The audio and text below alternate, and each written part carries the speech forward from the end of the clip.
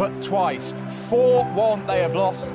They look like they might make a game of it. And after the way things are going at the moment, he must want away, mustn't he? 4-1 for Watford. They have thrashed Manchester United.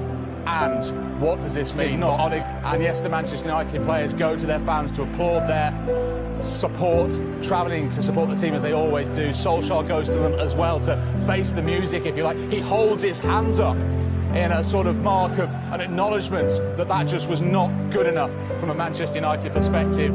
What does this mean for Solskjaer? Does he still retain the support of the Manchester United owners? He waves at the fans. Well, could he be waving goodbye? Could the owners act? But twice. 4-1 they have lost.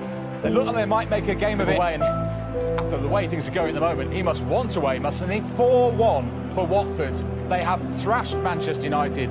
And what does this mean? Not Odig. And yes, the Manchester United players go to their fans to applaud their support, travelling to support the team as they always do. Solskjaer goes to them as well to face the music, if you like. He holds his hands up in a sort of mark of an acknowledgement that that just was not good enough from a Manchester United perspective.